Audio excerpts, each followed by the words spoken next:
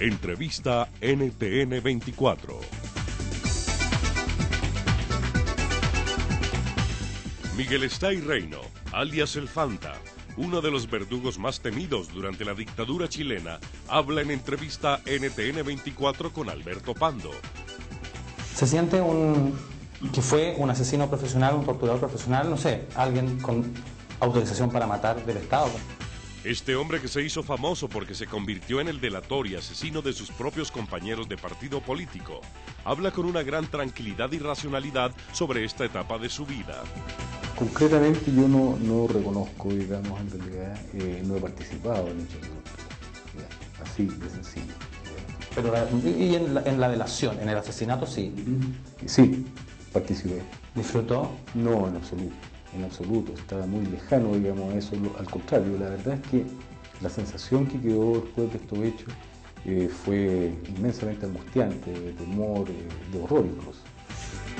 Fanta, quien está condenado a cadena perpetua por el triple asesinato de tres militantes del Partido Comunista, ahora dice que él también fue víctima de la tortura y que fue obligado a actuar contra sus compartidarios. Ahora, en esto hay que entender una cosa primero. Nada de lo que yo eh, pasé, digamos, en realidad lo hice en forma voluntaria. Yo no me entregué a los servicios de seguridad, ni me ofrecí para trabajar con ellos. Yo fui detenido junto a otra cantidad de militantes. Hasta el día anterior de la detención mía, yo estaba tratando de proteger, digamos, a la gente que trabajaba conmigo. Dice que las cárceles están llenas de gente como él, pero que allí no están los políticos que participaron de las desapariciones y asesinatos bajo el régimen de Pinochet. Bueno, yo creo que acá, y en eso eh, yo tengo una postura sumamente clara desde mucho tiempo, digamos. Los grandes responsables de todo lo que pasó en Chile, ¿ya?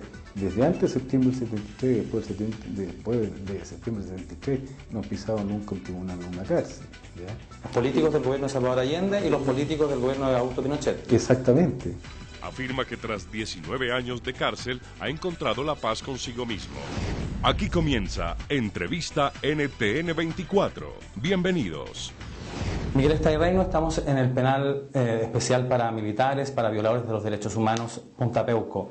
Eh, usted lleva prácticamente 19 años cumpliendo condena por el asesinato de profesionales comunistas, el degollamiento que causó enorme horror, yo lo recuerdo con vividez. ¿Qué fue lo que pasó en su vida desde ese tiempo en que usted abrazaba los ideales marxistas, eh, tenía compañeros comunistas, compañeros que después lo traicionaron y usted traicionó? Cuénteme brevemente, por favor, cómo ha sido este proceso desde la militancia hasta la cárcel. Bueno, yo creo que eh, pasaron cosas en la vida de todos nosotros. ¿ya? Eh, desde la época en que yo ingresé a las Juventudes Comunistas ¿ya? Eh, hasta el día de hoy, bueno, prácticamente las ideologías desaparecieron. ¿ya? Eh, hubo un gobierno militar, 20 años de actividad de un gobierno democrático.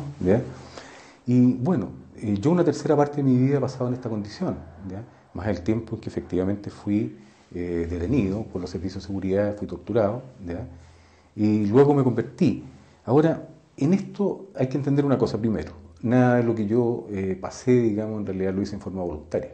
Yo no me entregué a los servicios de seguridad, ni me ofrecí para trabajar con ellos. ¿ya? Yo fui detenido junto a otra cantidad de militantes. Hasta el día anterior de la detención mía, yo estaba tratando de proteger, digamos, a la gente que trabajaba conmigo. Lo obligaron. Eh, bueno, fui detenido en la noche del 22 al 23 de diciembre del 75, ¿ya?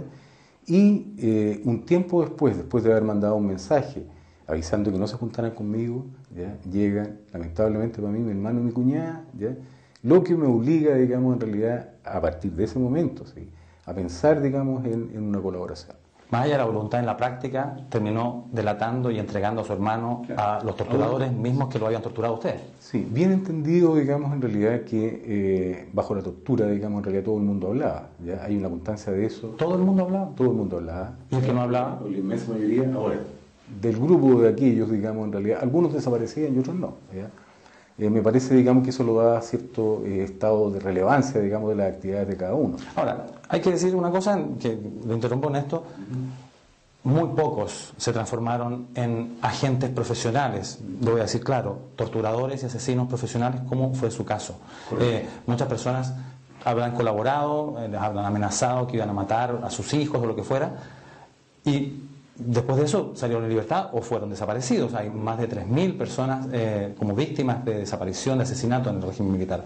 En el caso suyo, usted cruzó completamente el arco político desde la inteligencia del Partido Comunista donde usted trabajaba hasta la inteligencia del régimen militar que torturaba y asesinaba. ¿En qué momento ya se siente usted que eh, está muy lejano ese momento de la tortura y ya está cómodo con sus compañeros carabineros uniformados eh, como un agente profesional? Sí, yo diría primero que el hecho de que yo concurrí en el año 1971, cuando tenía 19 años, a un curso de inteligencia en la Unión Soviética, eh, al que fui seleccionado por el Partido Comunista. Yo era el más joven del grupo de las personas que fueron. Eh, eso indudablemente también creó, digamos, en realidad una, una suerte de mayor interés por la, por la participación mía.